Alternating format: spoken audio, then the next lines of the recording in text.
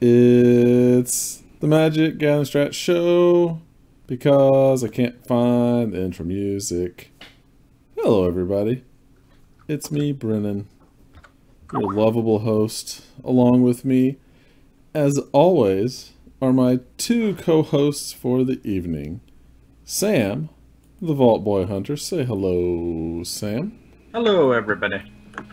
And Dan, the fan of history.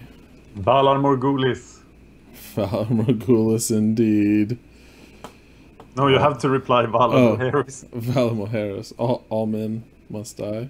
Is this is this I, I say all men must serve, you say all men. eh, I say all men must die, you say all men must serve. We really screwed this up. Oh, damn. We should have practiced.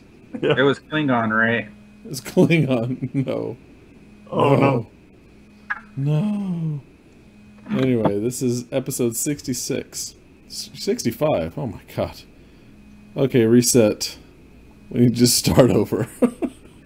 No, keep going. Episode Yeah, keep going. 65. Is it rational to be mad at cardboard?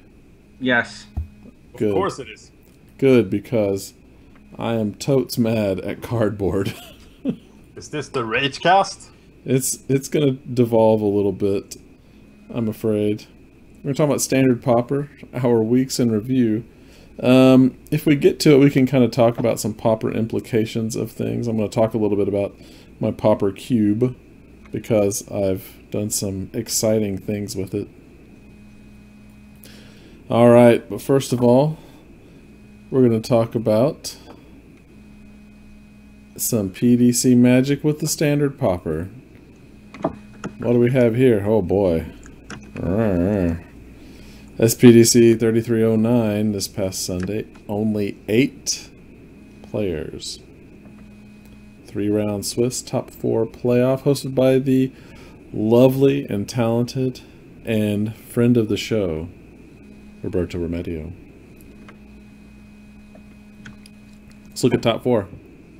Number one is Selesnya Air Support by Amnaramatos, followed by BG Control by Afro Dwarf. Hmm. A little uncomfortable with that name, but I'll go with it. I mean, he could be a black person who has dwarfism. That's true, so I'm gonna go with that. Okay. Number three, or in the top four, two in a row. Worth. Hey, see, I can get behind that name. There's That's no, there's no dirtiness, no swearing. Um, Ro- Roberto actually last week, like 15 minutes after we finished the show, emailed me. He was like, "I can have him change the name of the deck before you guys record the show," and I'm like, Thanks. Uh, "It's a little late on that." He's like, "Oh, I'm sorry." I'm like, "It's okay." hey man, it's not Roberto's fault. No, it isn't. But No, but, but see, look, he's he did it. It's all good. yeah, It's all good, fine. bro. Good. All right, so we have the rounding out the top four is Black White Allies. What did Black White Allies do? Went two and two. Okay. All right, let's look at air support. Believe it or not, I'm walking on air. Never thought I could feel so free. It's got four Makindi Aeronaut, four Territorial Rock. My goodness. Thraben Inspector because that's just pure value. Topan Freeblade, Blade. Wow, can't speak this evening. Too much English stout. Saddleback Lagac. Servant of the Scale. There's that. What's this one? Yeah, It's the little modular dork. yeah, it's the modular dude. You support on him, and then you get a lot of tokens for your flyers. Yeah, you do get a- you do get to put a lot of counters, which is good. Wow. this And looks interesting. Stalwart Aven. Yeah, shoulder to shoulder. We talked about last week a little bit. Support two, draw a card. Pacifism. Lead by example, which is the green version. Support two, not draw a card, but it's instant and it costs only two mana. Rabid Bite. Arrgh. Follow the hammer in green. True Faith Censer. what does that get plus two plus one on? Let's see. Makindi, that's an ally. Rock. Thraben, it gets it on. Topan, it gets it on. Servant. Hmm, servant. Okay, that's good. Okay, that's half. I'm down with that. I mean, and the other, it, like, even if you don't get the plus two, you still get plus one, plus one in vigilance. Vigilance is pretty strong. Yeah, it isn't horrible. On the free blade, though, it seems silly. Right, but if you had Makindi Aeronaut up Yeah. there at 2 4 Vigilant Flyer, Yeah. that brings back memories of the uh, Angel. Oh yes. Oh, it's a shame it doesn't have lifelink. Well, it's always time. Then you have in the sideboard Aerial Volley to destroy some flying flyers. Netcaster Spider to block some flying flyers. More Rabid Bite, which is always strong. Felidar Cub for some enchant removals. Oh, you know what I found out? Okay. This was on Judge Cast on uh, Magic the Amateuring.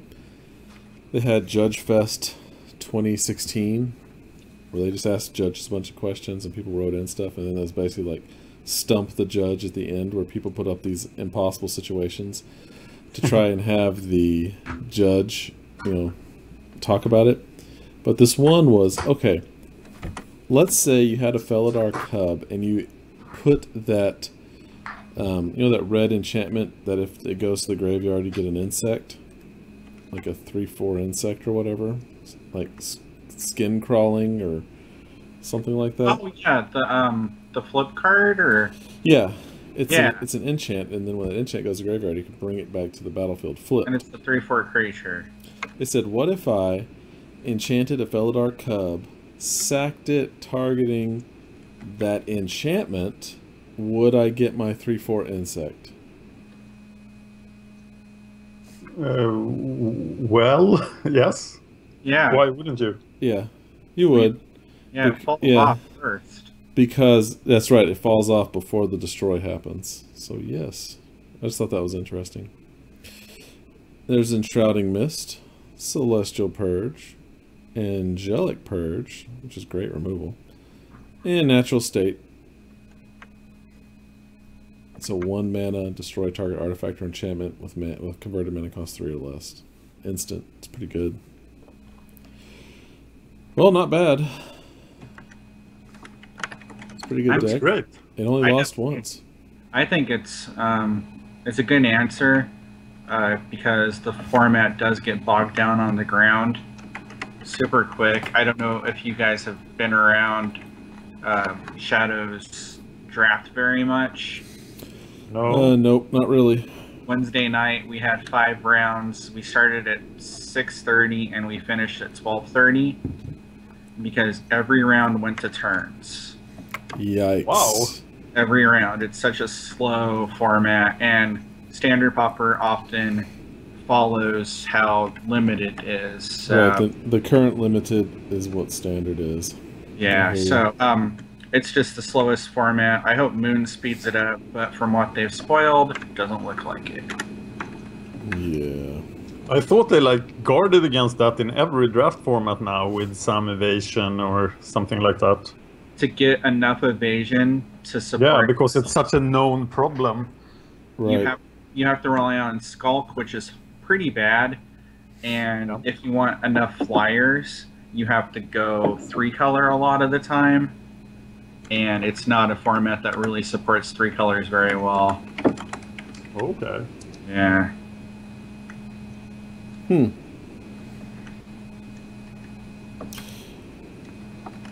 Okay. Let's see. Da, da, The da, fact da, that this guy won both the tournaments is pretty impressive. Right. It, it's. I mean, it's a good. It's a good deck. All that evasion. Um, then you have BG, GB, get wrecked. See, another good name. Love it. The only one that's different here, I guess we can look at Thunder Rump real quick and see what's going on there. I think it looks really nice. You like the Thunder Rumps, do you? I, I, I do like some thunder in a rump. All right. Elvish Visionary, Leaf Gilder, some Ramp Ramp, Kozilek's Channeler, more Ramp, Life Spring Druid, more Ramp, Warden of Geometries is more ramp. What are we ramping to? Oran-Rief Invoker? Four Rolling Thunders. Yeah. Or you can you can do this. Oh yeah, the uh uh Dan Dan. I'm building a I'm building theater of the mind here, Oh, sorry. and then you're just it's for Rolling Spoiled. Thunders. Shame, shame, shame. But look at the Invoker. You can make it a seven seven. And then Valakut Invoker, you can do three damage with all that mana.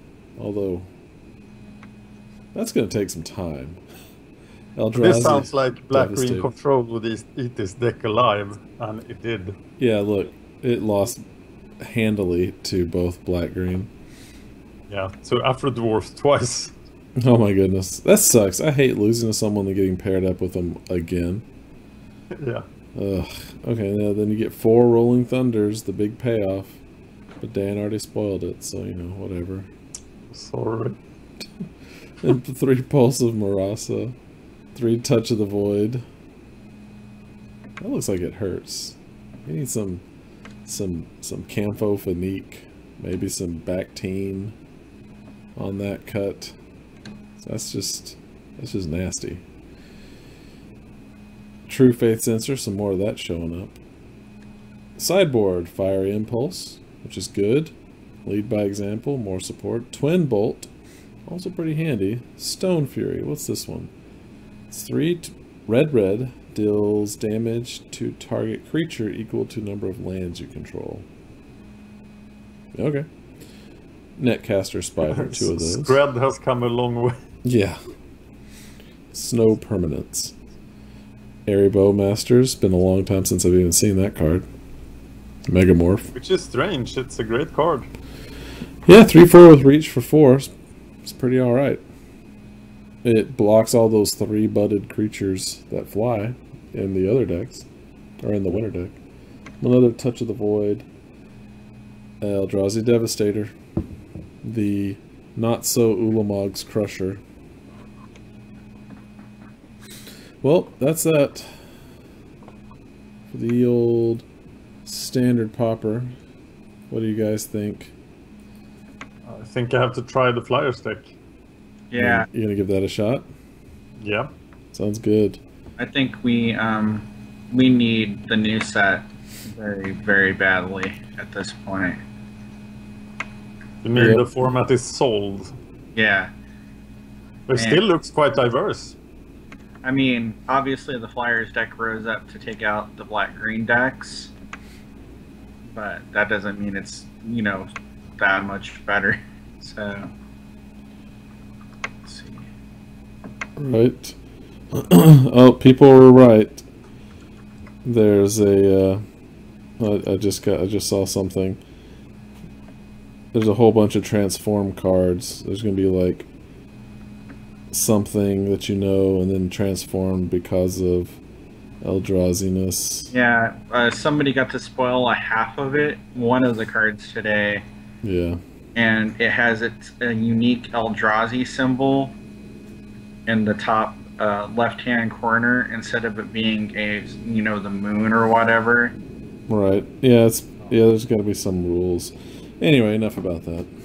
I mean, it's pretty interesting. It is kinda. All right. I mean, What's your week like? interesting. so. Well, I'll, I'll talk about it when I get to my turn. Okay. What's up, Sam? What happened this week? Anything interesting? Um, Friday night, I got to draft Eternal Masters Ooh la la! Look how fancy you are. in paper. We had five guys show up, and so I was like, I'm gonna draft in the sixth slot because you know Magic. Six is way, way, way better than five. yeah. Oh, I, just yes. gave, I just gave the cards to the store. I didn't pay or anything, but um, Oh, okay. I finished two and one. Not Um, bad. Not bad. Basically, I lost in the finals to the guy who won um, because his deck he drafted beautiful things. He drafted a Viscera. He drafted a, a Nevinyrral's Disk. He drafted Two Hymn to Tourachs.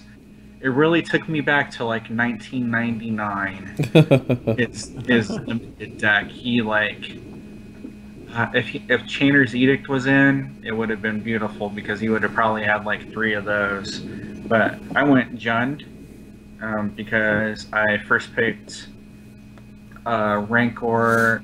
I second picked a Bloodbraid Elf, and then I got some like black removal. Um, so it kind of just took me into Jund, and even though the Khan's tap lands aren't super great, they get the job done enough. Plus Pilgrim's Eye. Um, feels silly picking Pilgrim's Eye, but you do. but that's probably the last time anybody will get a draft it in this area. Um, most of the other stores did one draft, Right. um, or uh, one of the stores is doing a sealed. Um, but I mean, sealed is obviously super expensive oh god, yeah. because the draft was 40. Um, other than that, uh, I built some decks to play against Dan. Um, Fallout got a new DLC that I'm going to mess around with tonight after Dan's done beating me soundly. trying to think.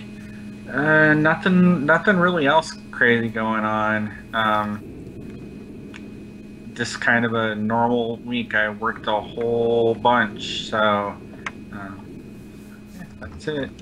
Okay. Well, what about me? News? Let's see. Do do do do do. Um, I guess as far as Pauper is concerned, I've been working on um, my Pauper cube, blinging it out. I got an awesome. I don't know if I talked about this already. Collector's edition Orcish Oriflamme to go in it, and that was pretty cool. It's one of the things I like about Cube. It doesn't matter what the card is, as long as it's a card. You know. that Yeah. Is from Magic. It's just awesome. And I try to get the most off the wall versions I can afford. I mean, there's those guys out there that like have all proxy cube. Oh yeah, and it's some of the proxies are so beautiful. It's amazing. Yeah, like the ones where they fix the planeswalkers, so the formatting is sideways, but it looks amazing. Yep, Yeah. it's pretty cool. Lot, I mean, lots of cool stuff. Um, been buying up all the cheap foils that go in it. Um, the professor did a thing, and when I first bought foils for the cube, uh, everybody's were bent, and it sucked. And so I've had this pile of foils just sitting over here. I've been trying to smash them down and whatnot. It has not been working. And then he talked about um, using TCG Player Direct and how they grade everything at the main site. So I'm gonna give that a shot. See how that works. I've never had Oh, that sounds like a lot of work. A lot of work. Oh yeah, the cube. It's um, it's constantly curated. It occupies my brain. It's Adam Strobieski's cube, Adam Strabowski. Yeah, or whatever. I can't pronounce his name right. It's um, the I'm gonna- Stibs. Look up the Stibs. yeah, the I'm gonna build it. S T Y B S. Oh, you are? Yeah, I'm gonna. Now that um, Chain Lightning has dropped in price, so I can actually afford it, and I might even be able to get a Maze of Ith. Okay, here's the deal with that. I have a ton of now non-foil cards. Do you want them? Oh, I would love them. I will mail them to you. Awesome. Are you gonna put any of my alters in? uh, into the cube. Yes. I don't know, and here's why.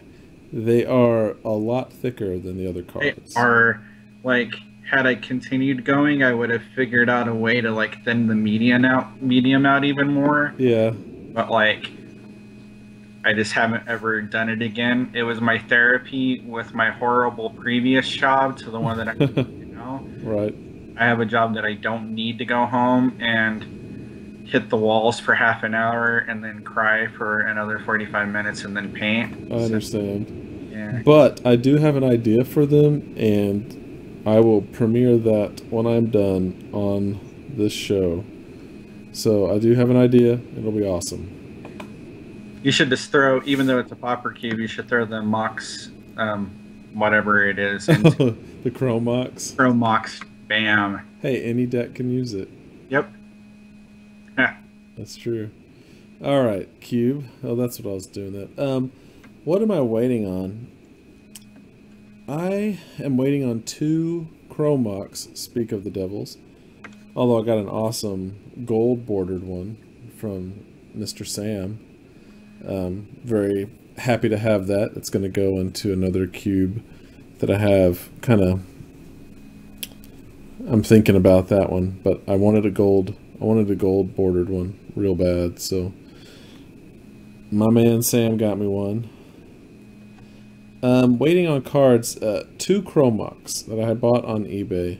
I'm getting a little worried. It's been over a week. So, I'm going to give them till Friday. And then we'll see what happens after that. But what pisses me off about that most of all is I got those for really good prices, and the prices are creeping up again. So not only would I be out cards, I will then have to purchase cards at a more inflated rate than I got them for. So that kind of Okay. pisses me off. They're That up. sucks. They're up to fifteen now. Yeah, I know. That's like three dollars more than Friday. Yep, I got them for 10 and less.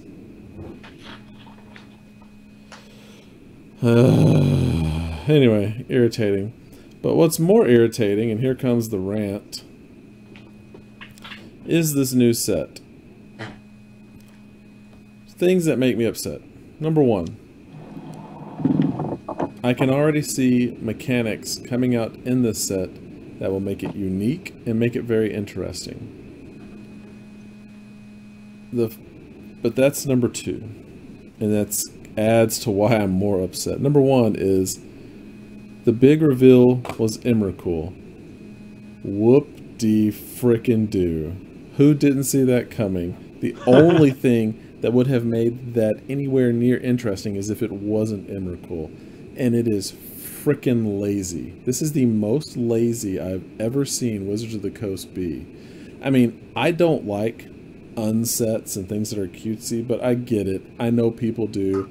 I just let that go. That's not me. That's for someone else. That's fine. This, But that if- hasn't been done in 15 years. right? And but and I'm talking about like flavor. Seriously. I'm talking about like s- silly flavor text and stuff. I think it's stupid, but people like it. Hey, whatever. Well, um, but this right here, if you didn't think Wizards has didn't have like contempt for its longtime players, or and not even contempt, just complete disregard. This is it. If you care about story at all, or you think Wizards cares about story, this should be a giant middle finger to you saying, Haha, we don't care. We sell cardboard crack. Blop, blop, blop. So, they, they could have gone any number of directions, but, ins- but instead they shoehorned an Eldrazi coming into this plane. And I hate it. And because I I am so pissed off about this, and I know it's stupid, like I said earlier, to be mad at cardboard. But it's just the fact that Wizards, you know, I actually enjoy the story, even when the story's kind of weak.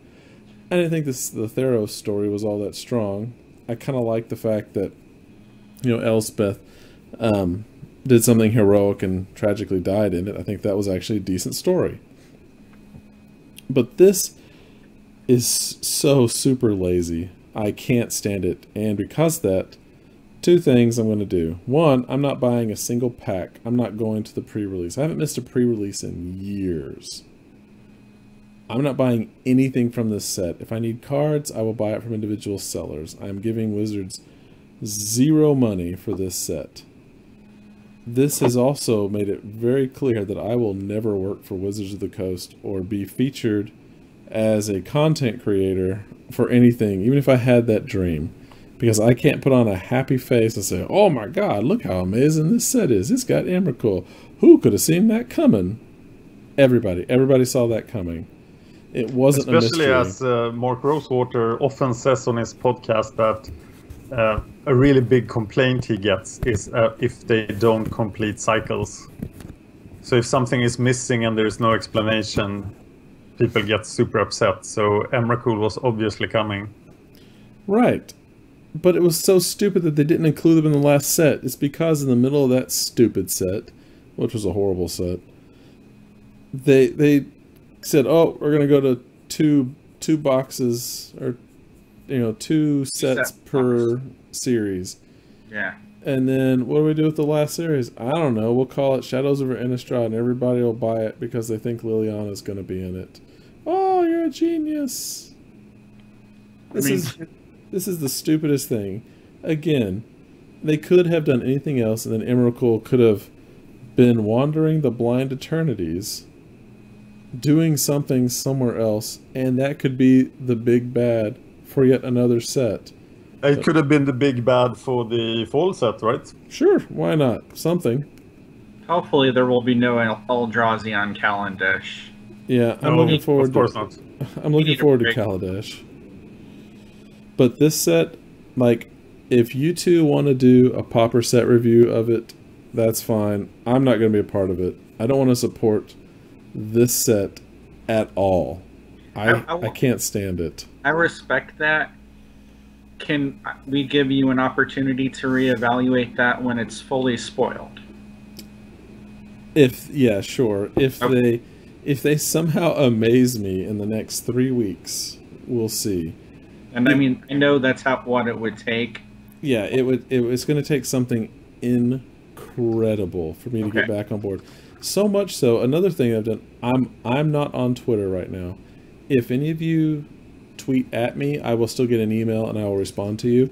But I'm not looking at Twitter at all. I can't watch the salivating over this table scraps. I mean, I have to feel. I feel like there's a pretty big voice of the community. Like even Cardboard Cracks comic that day was about a guy going to a fictionalized version of Maro. Is it Emrakul? I can't tell you. Is it Emrakul? I can't tell you. Is it Emrakul? I can't tell you. Look, it's Emrakul. Oh, great. yeah. the disappointment that was portrayed in that last panel was pretty much how everybody felt, at least in my area. Like, and then the three and a half cards they premiered since, none of that looks particularly strong. So, Did you did you see the video I sent you of someone like doing a parody Mark Rosewater reveal video? no, I'll have to find that. I, I saw it. Yeah. Anyway, um, yeah, it's I've never been more disappointed in the company. and the problem, even even when the cards were terrible, I liked it more than this this build up. Like, why would you waste something as cool as clue tokens and the whole build up of Innistrad for this, as Sam eloquently puts, wet fart noise? And the Emrakul is so much worse than Nulamog. So much worse. So why would you ever run her over Nulamog? I don't understand. Uh, but apparently she's the Buy-a-Box promo. Really? Yeah, so there's going to be a lot of them out there. Wasn't Emrakul the Buy-a-Box promo before? I have I didn't play during. I think she was the uh, like the pre-release promo. Wow. Okay. Then why the hell is that card thirty bucks? Uh, command- Because uh, v- a lot fewer people were playing Magic back then. Oh, okay. anytime you see a card and you can't figure out why it is as expensive as it is, the answer is Commander. uh, Emrakul's illegal in Commander. As a Commander, but Can she can be in the ninety nine? I think you can. Anything that's banned as a Holy Commander shit. can still be in your deck. They just don't want you casting it over and over and over again, so that's why they don't let you have it as a Commander. Ah, well, you take Great. infinite turns. Yeah, like braids. They don't want people to have a abyss on a stick that they can just continuously cast over and over again. That's Uh, true. But anytime you see a weird card and you can't figure out why it's fifteen dollars, right. because Commander is artificially inflating questionable cards because they're very playable in that one format, and there is a huge demand for those type of cards. It's crazy, crazy. Like seasons past, will always be a card in demand because it does something amazing for a commander deck. So Yeah. That's a pretty cool card. Yeah. All right. Well, that's the end of my rant. We can reevaluate how much I hate it when it's um, in a few weeks. But again, if you send me something on Twitter, I will get a message and I'll respond to you. But um, I'm just turning off Twitter for right now. The the the people who also hate it would just get me more ramped up to hate it, and the people who are loving on it will just make me shake my head. So, for my own personal well-being, I'll be off of it. All right, Dan. So, uh, how was your Rumspringa? what? does Dan know what Rumspringa is? I don't know. Do you know what Rumspringa is? Uh, is it a, an attempt to make a Swedish word? Nope. It's No. a, it's a real thing, man. Okay, it, it's uh, very, very close to the word for butt crack in Swedish. Oh, awesome. That's funny. It's what Amish people do when they turn 18. 18, yeah, they have like a get a full little year vacation. To decide if they're going to be Amish or not. okay, and why does anybody become Amish after that? Well, they a lot, most of them do. Almost they get, Yeah. Oh, yeah, huge they're already brainwashed. yeah, Yeah. but they just spend that year like having a lot of sex, doing meth, living in poverty, and then they go back. and then they go back. Okay. Yep. Uh, yeah, so I, I didn't do that this week. Okay, I, I kept it at my ordinary meth consumption level. good. That's, that's wise. yeah, no more than twice. Then you're an addict. Exactly. So I've done the deck doctor thing for that tortured uh, Salte, Salte tortured existence deck, hmm and I'm gonna wrap that up this week. I'm playing uh, Burn in Modern. It's I am surprised at the power of Burn in Modern. It's like I've been in so many situations with the deck where like, so, uh, God, this would never work, and then oh, God, I can do 13 damage. Yep. then It's, you just it's win. powerful. Yeah, it's super strong.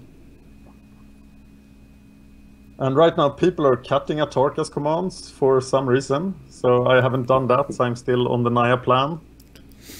What are they going to? Just Boros? Yeah, or uh, or keeping. You need the green splash for uh, the sideboard card, uh, Destructive Revelry. Yeah. Oh, okay. So they, they still keep green, but they go more Boros. Hmm. So even the Boros lists usually splash a bit of green for the sideboard. But uh, the deck is so strong, I'm quite amazed. It's of course very easily hated out, so it can never take over the format. But uh, wow. Uh, the main reason for uh, keeping white is of course Boros Charm, and then then you want to have Kor Firewalkers for the mirror. Right. Lightning Helix is really good, isn't it? Yeah, but not as good as Kor Firewalker. Yeah. No, I mean Lightning Helix he's playing the main. Yeah, I, I do keep two in the main Yeah. and one in the board, I think. It's it's one because on our Thursday night tournaments they're window box, and Yeah. people people playing um, Naya Burn and Modern have won three boxes. Wow. You want to hear the current list? sure. Yeah. Go for it. So, the problem with the deck actually is that there's not enough valid one drops in modern. That's strange to fathom, but if if the deck had Chain Lightning or something like that, it would be over the top. I think it would dominate modern. But you're often stuck with two mana cards in your hand. So the one mana slot is much more powerful than the two mana slots, and every one mana card is better than the two mana cards for the most part. But uh, so so the main the main thing of the deck is four Goblin Guides, four Swiftspears, four Lava Spikes, four Lightning Bolts, and the, the other two one drops have like restrictions that makes you don't want to go four with them. That's Grim Lavamancer, they're like you don't want to have three Grim Lavamancers in play. No. So uh, I run two, and then I run one shard volley, and I am really, really considering going up to two shard volleys, but having both of them in hand is not a very fun situation because you are always short on mana. And uh, you need to be because if you flood, then it's over. So I run 19 lands. They are 12 fetches. I can't afford the mesas, Arid Mesa. Okay. So I, I run Windswept Heath instead. And that kind of works until you really, really want the mountain. That's too bad. Yeah, so you're on the sa- three sacred foundries and two stomping grounds, right. uh, and that's like the lands you're gonna play with, and then you have two basic mountains. And as in Tron, I feel that two basic mountains is um, like two basic forests in Tron. When you get hit by Path to Exile and stuff, you re- you it feels super bad if you can't get anything. Right. Ghost Quarter, Path to Exile. Yeah, at least you're not just dead to Blood Moon, um, because a lot of your deck is red, so that's good. Yeah, Blood Moon is. Uh, I've I've been looking at it so much because I love Blood Moon, but you really can't play Blood Moon because it kills you. But you are not. If the other guy plays Blood Moon, it doesn't matter. But if you did, then in three mana is so much. So you you basically you have you could play some sideboard cards at three mana, like Anger of the Gods and stuff. But I don't. I don't have a three mana card in the deck. So for the two mana slot, then uh, there are four Eidolons of the Great Revel, and that's of course what uh, made Burn so powerful. Right. Uh, three Searing Blazes and the fourth one in the sideboard. Uh, four Rift Bolts, they are like, are they two mana, one mana, or three mana? It's unclear, but they play a bit like a two mana card. Uh, four Atarkas commands, four Boros Charms, and I just lied because I run only one Lightning Helix and one in the side. Uh, All right. And then the final card is uh, our two Skullcracks. So six Skullcrack effects in the main deck and none in the sideboard. Yeah, I mean, the thing that you would Skullcrack to stop would be the Melira combo, and it doesn't. You know, it doesn't really stop that. No, but Skullcrack stops a lot of th- things. Actually, it's. Uh, it, I'm surprised at how much you stop with Skullcrack. Yeah. And of course, it's the big thing against Tron. So I have a totally new, new image of the Tron matchup than I had when I was playing Tron. And then I was like, ah, I'm gonna Wurmcoil them. It's gonna be great, and I kind of did. But sitting on the burn side of the matchup, I'm like, oh, this guy can't win. so it's like the matchup is 50-50 when I was playing Tron, and now I'm like, oh, it's 80-20 to burn. Wow. So play both sides of matchups is a good way to learn about matchups. Oh, no kidding.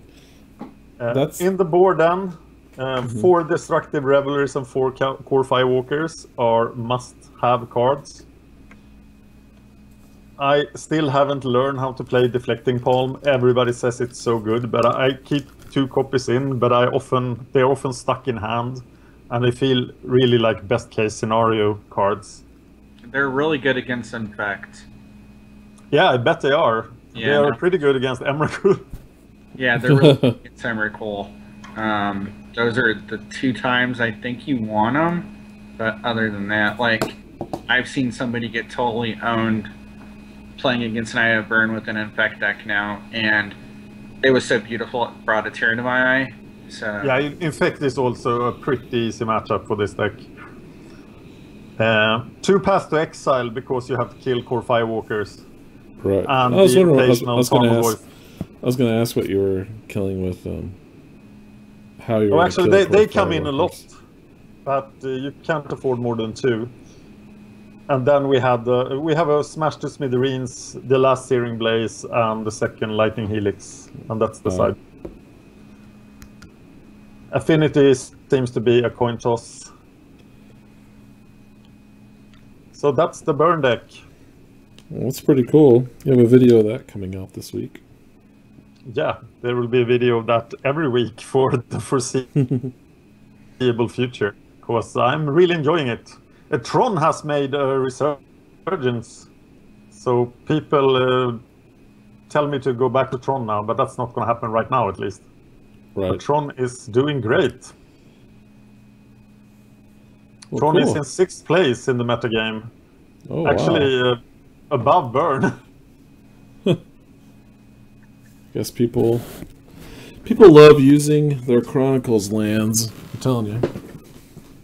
yeah, but the deck has uh, changed quite a bit. And I don't see these new lists. I don't understand how they survive until Tron because they just don't care. It's, it's so many bigger effects. Like, what are they? like uh, Conduit of Ruin is in the deck. Uh, the the deck list I'm looking at now that won uh, SG Danbury has both the Ceaseless Hunger and the Infinite Gyre. I'm like, why? Infinite Gyre. Yeah, and uh, no Pyroclasm, so you are just using Kozilek's Return instead, which makes no sense to me either, because you don't want to cast Kozilek's Return on turn 3, you want to play Karn on turn 3. Right. So uh, yeah, th- th- and it seems like there is no real. Uh, people haven't settled on the best deck list. So World Breaker appears in some lists. Other tree mana removal like Fire Spout makes it into the list, and I'm I'm confused. But I will return to Tron one day. I haven't sold anything or something like that. So I got you. Well, it's okay. What about your too much fun stones? burning people to the face. Always burn to the face. yep. That is definitely an oddball build of Tron. And they are all different. That's so strange. Seems that Yeah. Sanctum of Ugin has made it into a lot of lists as well. I was also wondering about Sanctum of Ugin. What are Yeah, your thoughts there. on it? It's, not it's a, um, horrible compared to Eye of Ugin, but uh, you have to play something. Right. This list isn't running World Breakers either. No, they are like in every other list or so. Yeah, that, I mean that seems super powerful. Yeah, and Ugin is also uh, in some lists, and in other lists he's nowhere to be found. Looking at the 5 list from a league now, playing three Ugins. And yeah, I, I just don't know at this point. Three seems like an awful lot Yep. with one Spellskite and it, like a severely scaled back creature base. Uh, but I guess most of them have Wurmcoil still. I mean, Wurmcoil is a good, you know, backup plan. Like and old cards we knew knew wasn't good enough for the deck, like Batterskull, they are sneaking in as well. It's like free for all. Just play whatever you want in Tron decks right now. Hey, if you're winning, we'll doing something right. Yeah, And the reason might be the meta game that it doesn't really matter what you play because Tron is so well positioned in the meta game right now. I mean, I can tell you like that um, the dredge deck is becoming really popular, and Wow. of course, Jeskai control. Yeah, because of um, prized amalgam. I mean, the deck has so many interactions with that one card from Shadows. Right? Yeah. Actually, almost a real deck now. Um, so that's really cool because it's fun to watch. At least I don't know how it is to play or play against. And um, Jeskai control, of course, is like pretty well positioned in the format too. So Yeah. I, I think a big reason for Tron's rise is uh, Ancestral Visions. That people want to play the control decks and uh, Ah, that just doesn't work. Also, Jan uh, against Tron. Uh, also, Jund is the number one deck in the format, and that's uh, a meta game where Tron has a very nice time. Well, very cool. Because if you can play like devastating cards from the top of your deck against Jund, then uh, all is good. Like, oh, I have no cards in hand. Yeah. Oh, look, Ulamog. There it is. Oh, hope you didn't want those colored permanents. yeah. so Ulamog eats Liliana and Yorgoyf. But, uh-oh. Yeah, oops, and I still have a Ugin. yeah. All right. Well, thank you, Dan. But that does bring us to the end of the show. No, already. Already. See, time flies when you're ranting and raving and talking deck lists. Drinking beer in the I- middle of the night. Ah, I can mention that we are gonna revamp the Magic Gathering Strat Patreon entirely uh, in July at the latest. But we are gonna uh, make some changes. sounds good. Is that your way of telling me that you're letting me go, Dan? You're going in a different direction? Oh, you are safe. As are you, Sam. Excellent. All that right. Bava guy, I don't know about him. yeah. No, save Baba. What's that? I said hashtag save Baba. Save Baba. Yeah. You can't, Dan. What are you doing? He's been with us since the beginning. Have you watched that crazy mono black thing that he plays on the channel? Oh yeah, the the mono black. Um, yep. There's, I believe there's some videos up there. Yes. So yeah.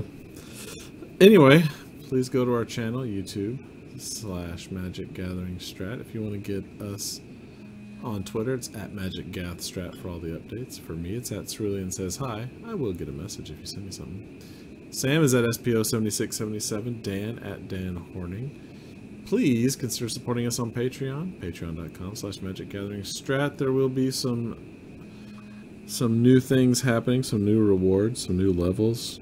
Revising. Yeah, it it. will be more focused on the rewards because I think that's uh, that's a better way of giving people back than uh, the goals. I 'Cause- think so. yeah, I think if you see a goal then and it's big, then you don't feel like contributing two dollars makes any difference. Yeah. But the rewards do. And I also like to the current patrons, please give me more deck requests. I'm not getting enough deck requests. I want to play whatever you patrons want to see me playing. And yes, you can deck request Tron if you like it. there you go, folks. Open invitation. All right. Well, please like and subscribe. Tell your friends about us. My cat's trying to eat the microphone. Ash down. Yes, I just put him down. Silly cat. All right. For this week, I'm Brennon, I'm Sam. And I'm Dan. And this has been the Magic Gathering Strat Show. Magic Gathering Strat.